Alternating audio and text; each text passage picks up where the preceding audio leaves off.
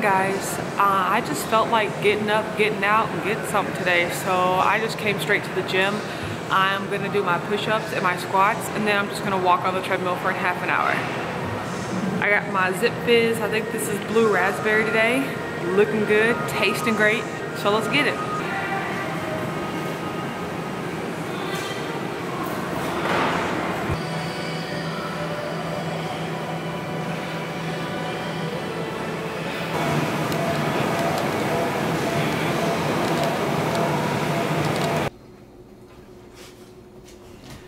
Elton.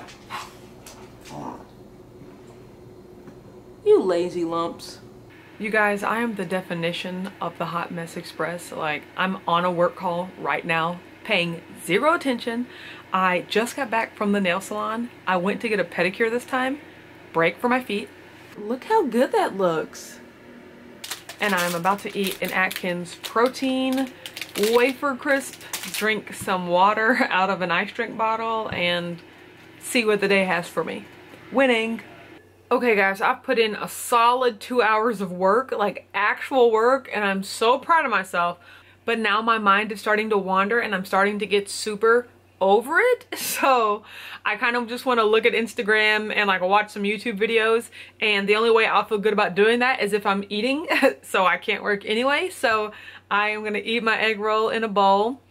I got my ice drink right here. So I am going to have this, hopefully, you know, get it out of my system and then laser focus right back to work. Oh guys, th this is an example of me showing you the good and the bad. I'm in serious pain. I think it's the almonds. It just hurts and there's nothing I can do. But just wait it out. I had a handful of almonds and half of a cheese stick. And then it just got really bad. It's like a very uncomfortable bloating and pressure. Like if I press on my stomach, like I can feel it expanding. It just hurts. It usually passes in like three to four minutes, but... And just like that, I'm back. If one is feeling horrible and 10 is feeling great, I'm at about an eight right now.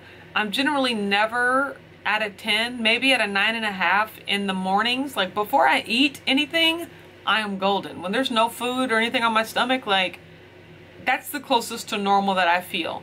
As soon as I start to eat, that is when my comfort starts to decline, but like those spells that hit me, and the thing is they've been hitting me every day around five o'clock and I've just been working my way through it, but today was really bad, so bad. I think I'm gonna try to lay off the almonds tomorrow and see if that changes it. And then if it doesn't, I'll lay off the cheese sticks. Like, it's just hit or miss. But I got the Jello and I got the Zevia. So I'm gonna enjoy that. Maybe watch some YouTube and work for a little bit and go home. It's the weekend. Which means nothing because I'll be here tomorrow. Oh, you know me. Just enjoying some HCT. See? I can rhyme when I don't try. Mm. All right, TV time. Hey guys, I am back to not feeling so hot. Uh, it doesn't feel anything like it felt earlier, um, but it's been coming and going in waves uh, since I had the hot chocolate. Uh, to be honest, I have felt like this pretty much every day this week, at least the one that happens in the afternoon, like around 4.30 or 5 o'clock. I just get a huge wave of pain. Uh, today was really just the first day I filmed it just because I, I, thought to do it before the pain got too bad. I'm not used to feeling bad like this in the evening, so I'm kind of disappointed, but like I said, it's nowhere near as bad as it was, and I'm just gonna go to sleep. I'm gonna take my medicine, and then I'm gonna go to sleep, so I know I'll feel better. I really appreciate your well wishes and your support, and to be honest, guys, I'm not looking for suggestions about how to not be in pain. I try to do the best I can, but my diet just changes too much for me to really be able to pinpoint what the issue could be. And some days I'm fine. I'll eat the same thing and I'm fine. And the next day it'll just feel horrible. So it's like I can't really tell what the issue is. Although, like I said, tomorrow I'm going to try it without the nuts because I honestly don't feel bad until I eat them. So I'm going to try that.